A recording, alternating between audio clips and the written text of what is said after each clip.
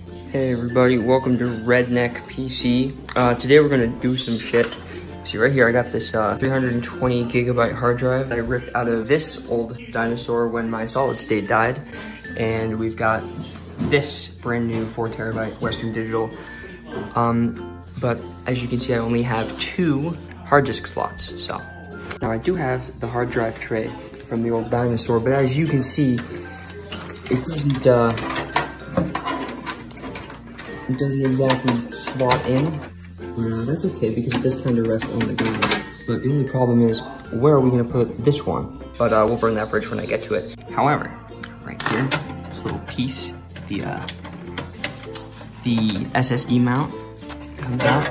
It's got uh, four little four little screw holes right there, and uh, this guy's got four little screw holes right here, and they uh, they line up. I don't have any hex nuts but I do have some loose screws and uh, some electrical tape.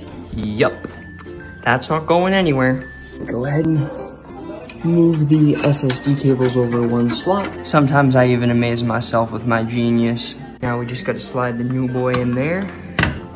And of course, it doesn't, you know, actually stay, it just kind of sits there. So it's our good friend electrical tape to the rescue again.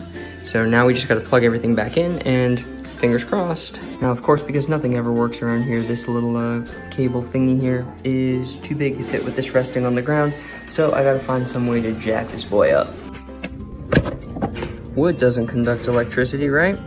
Every night before he goes to sleep, Linus Tech Tips checks under his bed to make sure I'm not there.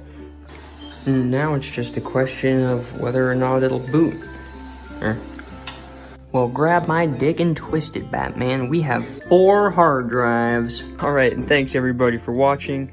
Uh, make sure you like and subscribe. And we're just gonna do a little test with some gaming to make sure that this thing isn't gonna like, you know, burn my house down or anything like that.